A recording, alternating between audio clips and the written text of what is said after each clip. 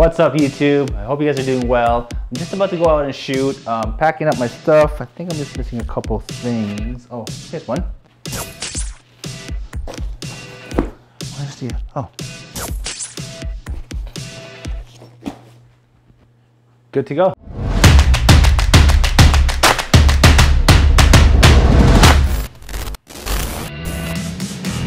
So today guys, I'm to show you how to grab an item with the Spider-Man web effect. Make sure to like and subscribe down below. So how did I come up with this idea? I saw this effect being done in a vlog by Andreas Hem, another amazing creative genius based in Norway.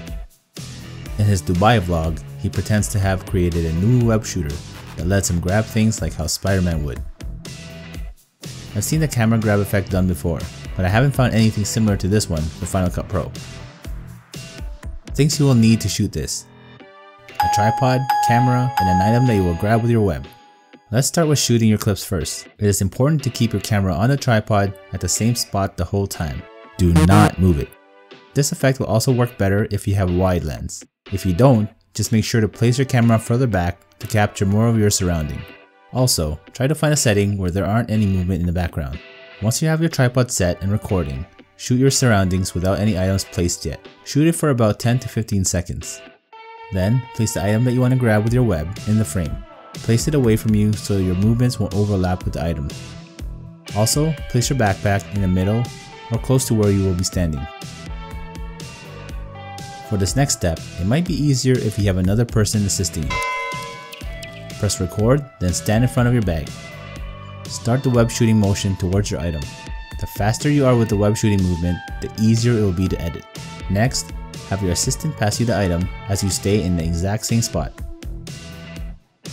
Now do the same motion again, but this time hold the item in your hand as you do it. And finish the movement by placing the item in the bag afterwards.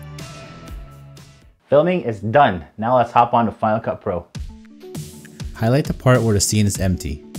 Then drag that onto your timeline. This will be your base footage. Now drag the part where you start to reach for the first item, and drag that on top of the first clip. Press B on your keyboard to bring up the blade tool. Look for the part on the top clip where you start to pull back your arm. Cut the clip at that spot. Now search for the draw mask tool in the effects tab, and drag that on top of the last clip.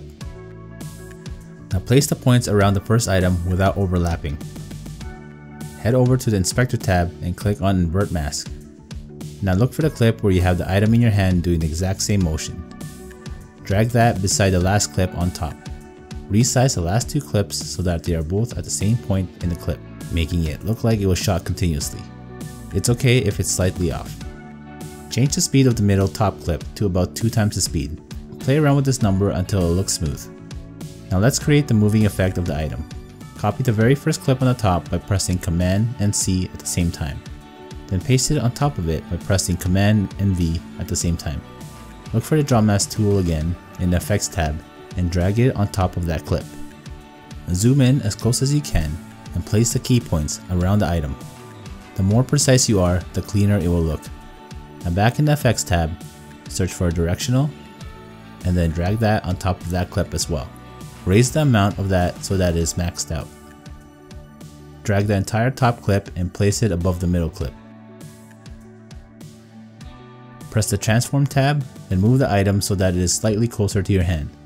Then add a keyframe.